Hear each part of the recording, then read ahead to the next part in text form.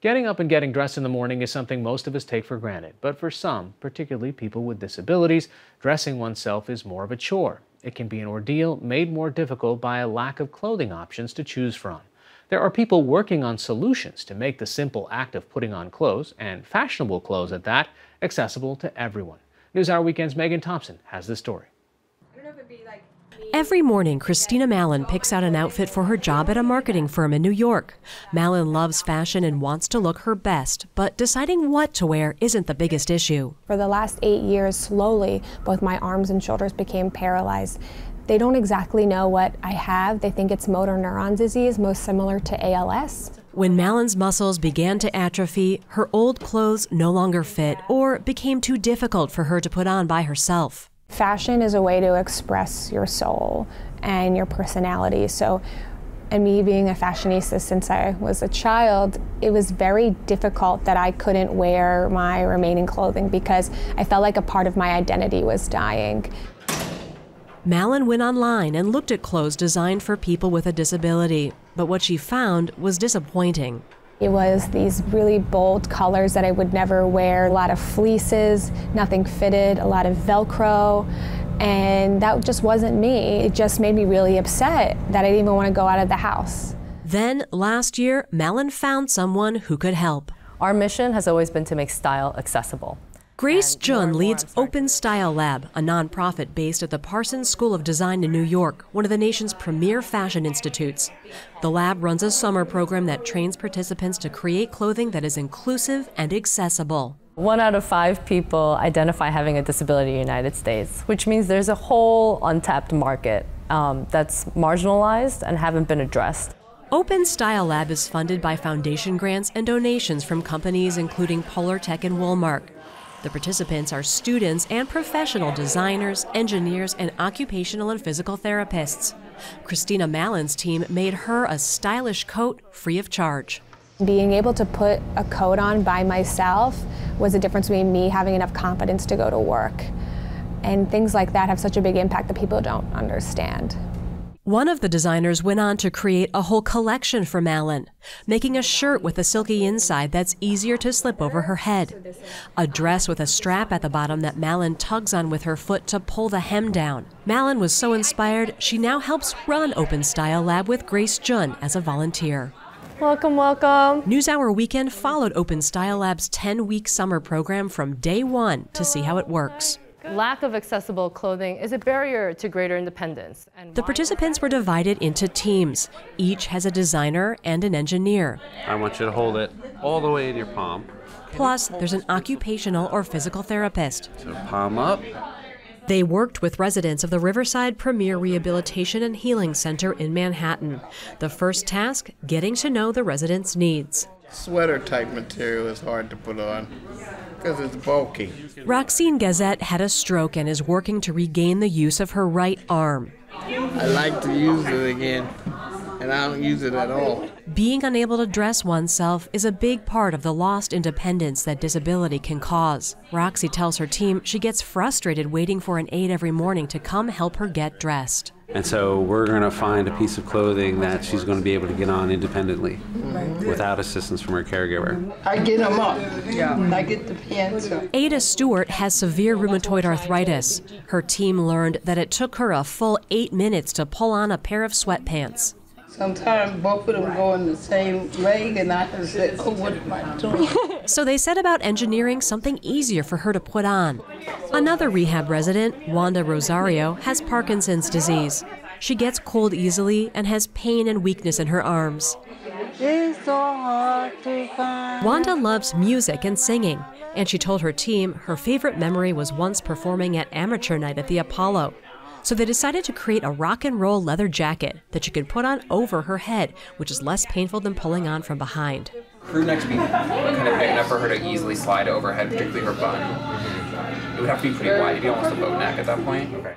The teams must rethink typical garment construction, everything from design to materials. Roxy's team is trying to figure out how to make a wrap dress that she can put on using only one arm. And the arm through the sleeve. An arm through the sleeve. Roxy typically required a lot of help getting dressed, but she managed to pull on a prototype of this dress almost completely by herself. For people with paralysis or limited dexterity, fasteners like buttons or zippers can be difficult. Roxy's team tried magnets, but it turned out they didn't work that well either. It was sticking to the wheelchair, and so it made it difficult to maneuver the garment, and so we had to eliminate that. Fabric choice is important too. Many of the teams use wool, which is natural and breathable. Wanda's team discovered the synthetic vinyl they first tried didn't work. The vinyl was too stiff. It created these very um, unesthetic wrinkles and lines and creases. So they switched to lambskin, which didn't wrinkle as much, and they created a guide within the jacket to show Wanda how to put it on. So blue is for your arms and pink is for your head. The teams visited the clients regularly to test out the garments and make sure they fit. How does that feel? I don't know, like it's too tight. As the summer went on, Ada Stewart's outfit slowly took shape. The team tested different types of pleats for the pants and devised a pulley system that will gather up the pants for her, making it easier to get her feet in. Nice and warm. Look at them pockets. Ada's hands get cold, so the team placed the pockets on her lap where her hands naturally lay. She told her team she wanted to get rid of her wheelchair one day, so they developed sensors that light up to remind her when it's time to exercise and give her feedback during the workout. I love it. I love it. It's gonna be good. In addition to providing independence, confidence, and dignity, apparel can impact a person's job prospects. According to the Federal Bureau of Labor Statistics, fewer than 20% of people with disabilities are employed, You don't have the same access. and a lack of appropriate clothing can be a barrier, according to Carrie McBee Black, a professor of textile and apparel management at the University of Missouri. Certain companies, certain corporations will have specific dress codes, requirements in terms of how you, you know, present yourself to the public, so to speak. And that can be a restriction for people living with a disability. McBee Black studies how clothing affects the social participation of people with disabilities. She says it can be difficult to find business attire, uniforms, and even coats and gloves that might be required for a job. And if someone does manage to find the right clothes, they might not be able to get in and out of them by themselves. It forces you into a situation where you're not able to live independently. McBee Black says that while the industry has largely ignored the community's needs, things are slowly starting to change. Is to remember that your disability is an honor, not a burden. In 2016, Tommy Hilfiger became the first major fashion designer to launch a line for people with disabilities. He says for him, it's personal.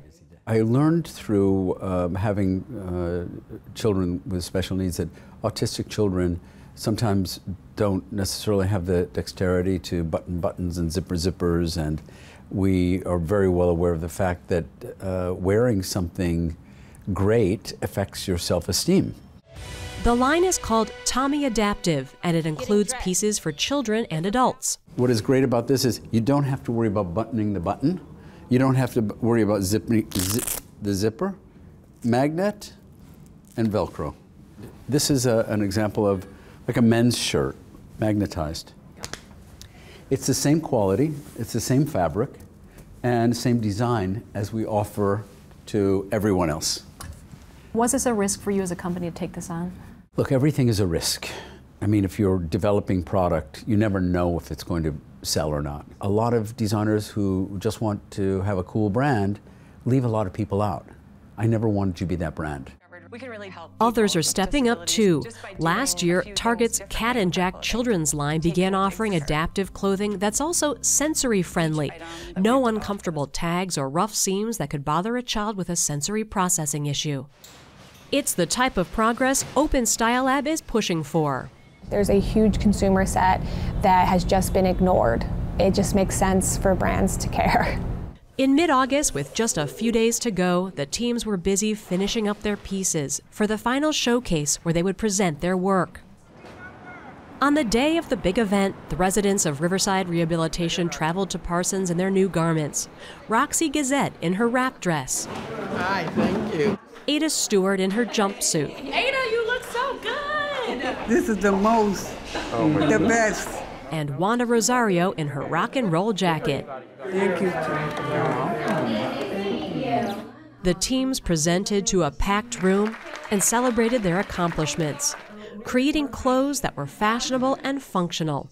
raising awareness about the importance of inclusivity and bringing the joy of style to everyone.